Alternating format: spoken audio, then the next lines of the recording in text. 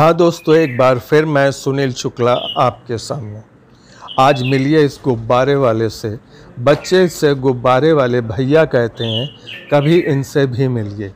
कभी ये स्कूल के गेट के बाहर, सुबह और छुट्टी के वक्त, मंदिर के बाहर, बच्चों के डॉक्टर या क्लिनिक के बाहर, या फिर कभी मेले में या किसी उत्सव या त्यौहार में।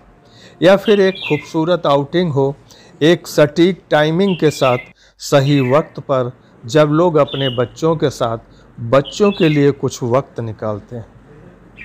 ये वहाँ पर भी ज़रूर मिलेंगे आपके बच्चों को खुशियाँ देने के लिए।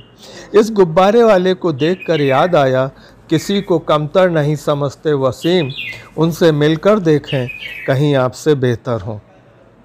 ये इंसान सुबह अपने बच्चों को भूखा रोता छोड़कर दूसरे के बच्चों को खुशियाँ देने घर से सुबह निकलता है और देर रात तक अपनी झोपड़ी में पहुँचता। जहाँ उसकी बीबी राह देख रही होती है अपने बच्चों के साथ। ये शख्स मुझे बच्चों के, के क्लिनिक के बाहर मिला। मुझे लगा ये यहाँ क्या कर रहा है? उसी समय कई महिलाएँ अपने बच्चों के साथ आती दिखीं और सभी गुब्बारे वाले भैया से गुब्बारे और खिलौने खरीदने लगी। एक मोल भाव के साथ मुझे अजीब सा लगा कि यहाँ भी मोल भाव इतने कम पैसे में भी इसे हम आदत कहें या एक मानसिकता कि दूसरे से कितना ऐठ लो। खैर, बच्चे खिलौने से खेलते हुए चले गए और नए आ गए। जब गुब्बारे वाले भैया से बात हुई तो ढेर सारी बातें पता चली कि वो कहाँ कहाँ, किस किस वक्त पर अपने गुब्बारों के साथ पहुँचता है और कितना कमा लेता है। मैंने पूछा, कितना कमा लेते हो एक दिन में? वो बोला, यही कोई ढाई तीन सौ रुपये बच जाते हैं। बस किसी तरह घर चल जाता है।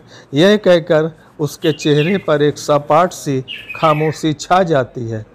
मेरे आगे पूछने की हिम्मत नहीं हुई कि ये शख्स इतने कम पैसे में अपना घर कैसे चला लेता है।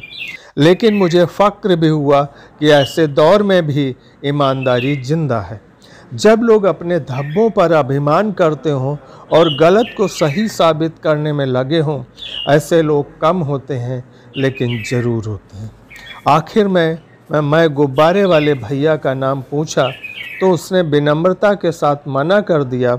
मुझे लगा कि वो कह रहा है, मेरे साथ चल सको तो चलो, मेरे घर का रास्ता मत पूछो। वो सुबह कभी तो आएगी, ये अल्फाज साहिर के हैं। मैं उनको याद करते हुए, मैं सुनील शुक्ला, अपनी बात को विराम देता हूँ। इस वीडियो को लाइक करें, सब्सक्राइब करें। धन्यवाद।